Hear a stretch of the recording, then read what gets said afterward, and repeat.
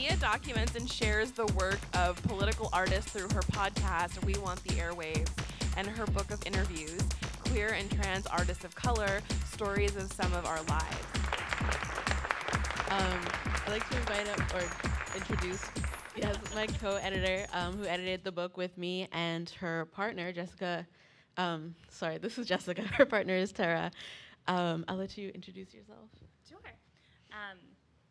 Just to recap that, I'm Jessica Glennon Zukoff, co-editor of this book with Terra Mikalson and Nia King. Um, we're going to be reading a chapter in which Terra and I interviewed Nia. Yes.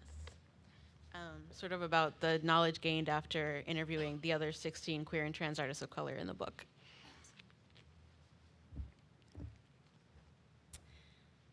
So Nia, you've created an archive of advice from queer artists of color on making it as an artist. What advice gems stand out in your mind? One piece of advice that comes up a lot on the podcast is don't work for free. I think monetizing your work is one of the hardest things about being an artist because everyone wants art, but nobody wants to pay for it. Folks feel like artists should be happy to work for exposure, but exposure is not going to pay your rent or put food in your fridge. It seems to me like it's not as hard to start getting more paid gigs and get paid at higher rates as it is to make that initial jump from unpaid artist to paid artist. This is fun because people in this room are in this book and I'm going to talk about them.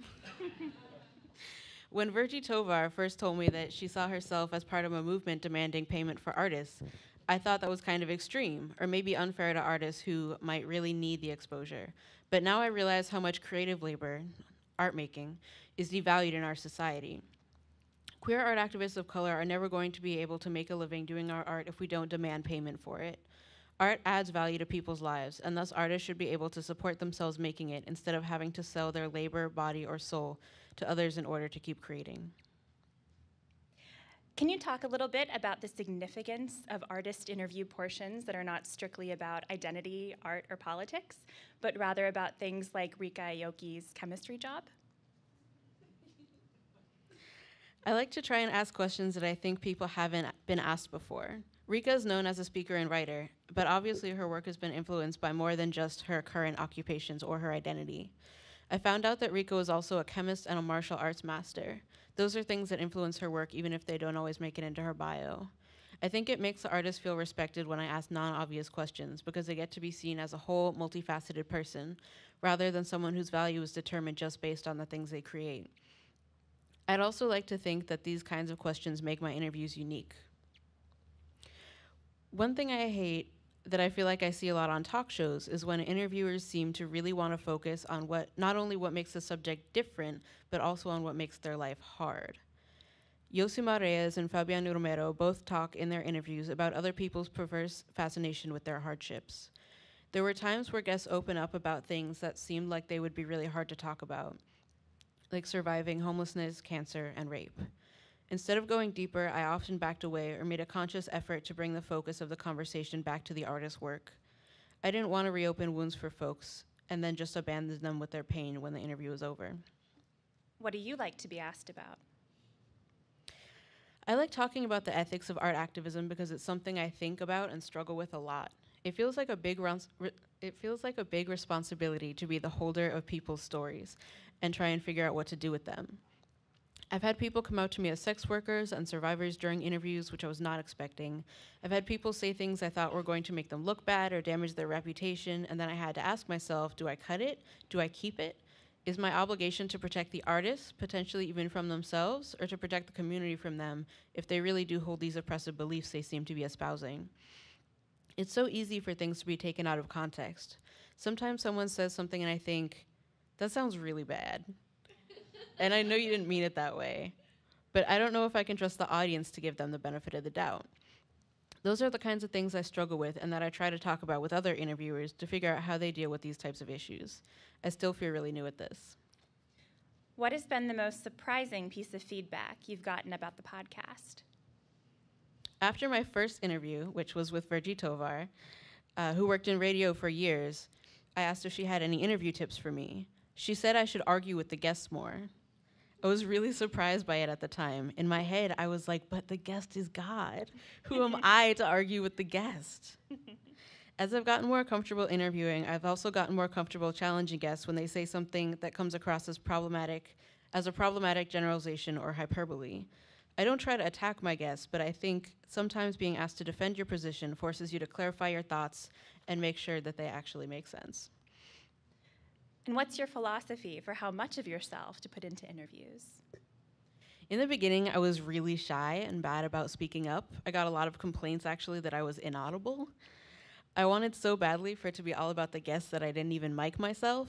I still try not to make it too much about me, but sometimes talking about myself first allows me to articulate a question that's not fully fleshed out yet.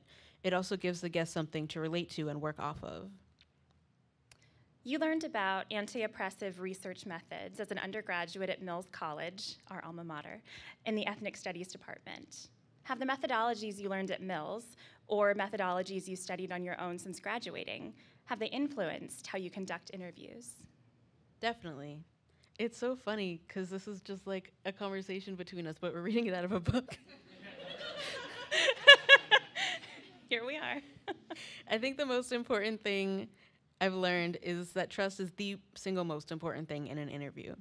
I also learned that the interviewer has a responsibility to take care of the interviewee emotionally, not to just use them for information. That idea is really emphasized in the feminist and disability justice research methodologies I studied at Mills.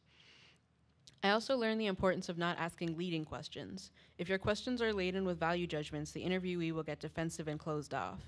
I don't want guests to feel bullied into giving a certain answer. The interviews I feel least happy with are the ones where I feel like I came in with an agenda, even when the agenda is, was fairly vague, like I want to talk about comedy with someone who's a comedian, or someone's experience in the military or current events. Um, that's a reference to Kiam Marcelo Junio, who's a Chicago based artist who's a veteran um, and also a yoga instructor and also a fashion designer. And um, I thought it would be interesting to talk about like being gay in the military, and it turned out that it wasn't. um, but there's lots of other good stuff he said that is in the book. Letting the conversation go where it goes organically tends to yield much better, more interesting results. Do you feel like you've grown as an interviewer as the podcast has developed? I hope so. When I first did my interview with Virgie Tovar, I was really nervous and stuck strictly to the script. When I interviewed Kortney Ryan Ziegler, I overcompensated, got completely away from my prepared questions, and the interview ended up being three hours long. Th- this was like right after I interviewed Virgie, and I was super nervous and stuck super closely to the script, so I was like, all right, and went completely 100% the other direction. I figured out how to keep the interviews now to approximately one hour, but also how to inter- improvise. It can be challenging to think up questions while you're listening, but I think, which hopefully all of you are doing right now, but I think asking follow up questions based on what someone has just said makes them feel listened to and also allows a conversation to go organically to a more interesting place than it might have otherwise. So Nia, you're a writer, an instructor, a filmmaker, a cartoonist, and a podcast host, not to mention a badass researcher. What approaches do you take to promoting yourself and your work? I promote my work and myself as much as I'm able, and it's pretty exhausting. Building a website has probably been the most useful thing for my professional career. If you take one thing away from this, it should be that if you're an artist, you need a website. Period. When I cold call artists asking to interview them, they, look, they can look at my site and usually decide I seem pretty legit. I think that would be less true if the only places I could send them to learn more about me were Facebook, Twitter, or Tumblr. That said, I do use all three of these social media platforms a lot to promote my work, especially Twitter. And I know that you identify not so secretly as a homebody and as an introvert. Do you feel like that affects your professional and your creative pursuits?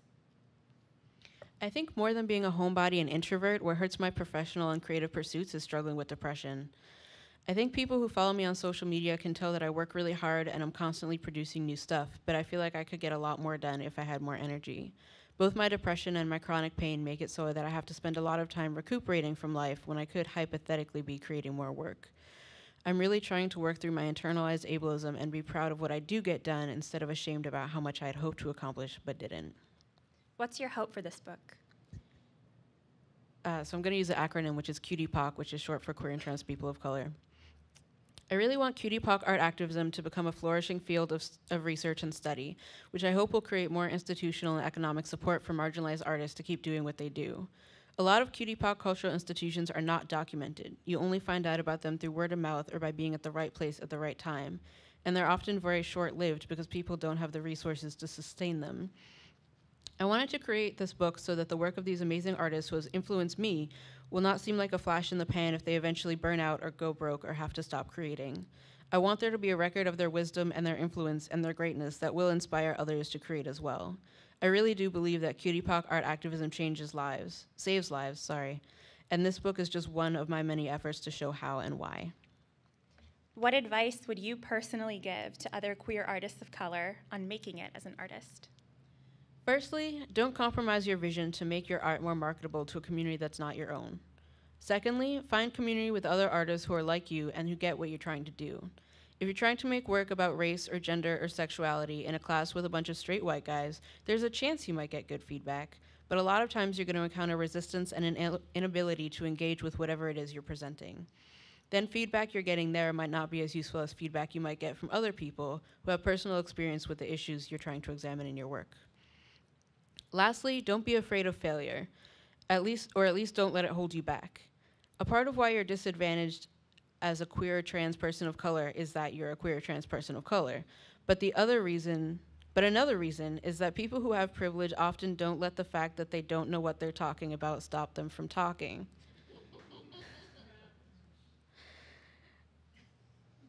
don't let the fact that they oh okay this is very similar sentence. Sorry i got lost. I got excited.